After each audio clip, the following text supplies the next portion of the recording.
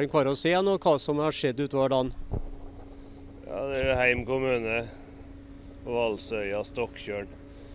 Det har kommet en del snø, da. glatt nullsnø. og Det har ikke vogntog som har ut her. da. Og skapt en del eh, problem utover ettermiddagen og kveldinga. Men det begynner å rette seg nå. da. Nå er det kaldere i været og oppholdsvær. Uh, Nå skal vi begynne å prøve å losse bilen. Vi var nødt til det. for at eh, tungt lasta og akslingene er sunnslått. Så eh, vi må rett og slett losse den før vi kan ta den opp her nå. Dette har vært et problemområde i dag. Fortell litt, Det er jo ikke den eneste bilen dere har vært borti. Nei, Vi har hatt flere som har hatt problemer oppi her i dag nå.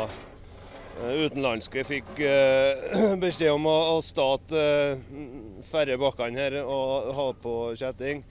Eh, Norske biler som var godt eh, skodd med vinterdekk og utrustning og følte seg komfortable med å kjøre uten, de fikk ferra, og det gikk bra.